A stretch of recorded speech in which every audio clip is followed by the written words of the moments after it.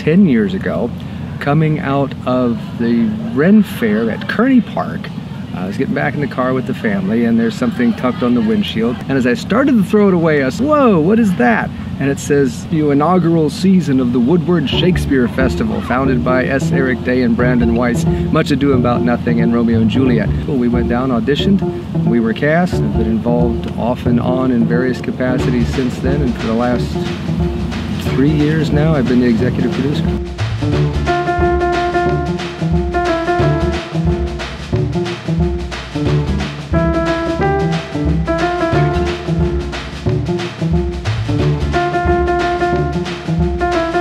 We're the Woodward Shakespeare Festival. We are a nonprofit community theater company operating right here out of Woodward Park.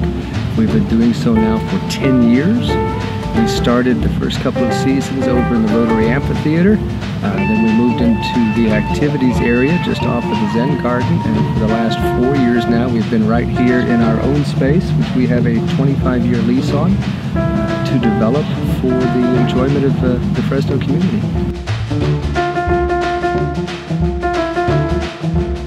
The primary goal of the Woodward Shakespeare Festival is to provide the highest quality theater possible, free for the enjoyment of everyone in the Fresno area, regardless of income. Anybody who wants to be able to come out here and see the best play that they can see, we're going to provide them.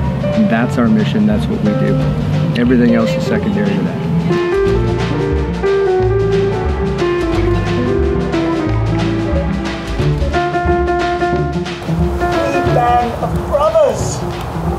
For he who sheds his blood with me this day shall be my brother. And those in England shall hold their manhoods cheap whilst any speaks who fought with us upon St. Crispin's Day. Yeah! Talent uh, that we have is drawn from the local area.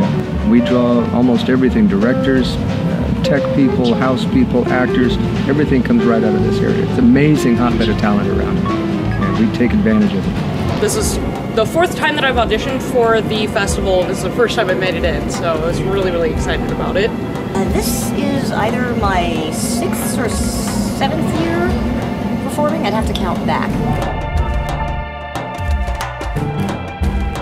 Macbeth shall sleep no more! Consider this not so deeply. These deeds must not be thought of after these ways, so it will make us mad to unbend your noble strength to think so brain sickly of these things. Go, get some water. Wash the filthy witness from your hands. Go! Smear the sleepy grooms with blood.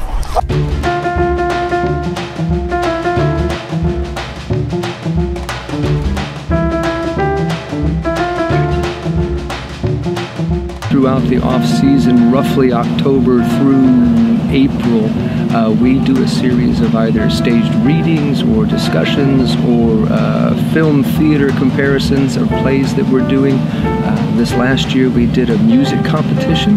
Local high school students and the winner of that competition uh, will be her music will be featured in our upcoming production of The Tempest. And how is the baby? The baby will come before morning.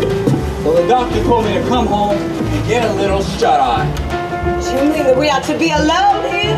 Yep. It's me and you, Blanche.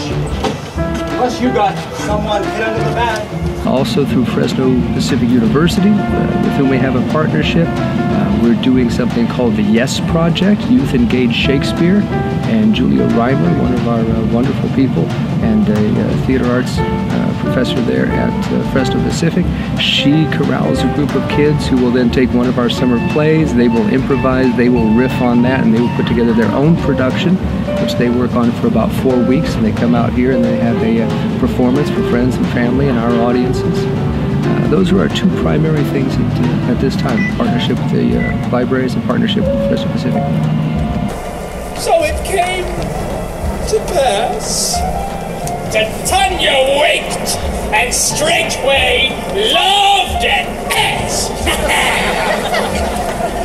this falls out better than I could devise.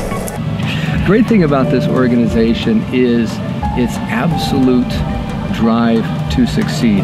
Most nonprofits don't last. Most theater companies don't last. You put those two things together and you get an organization that doesn't last. And we're still here after 10 years. What we need to be, though, is further along than we are. We've gotten very, very good at maintaining, at doing very solid shows, at doing good work. But we do need some help to get to the next level, to push to improving the lighting, to push to improving the stage, so that we can take our productions that are already good and make them better. And that's what we're here for, is to make the best thing that we can make.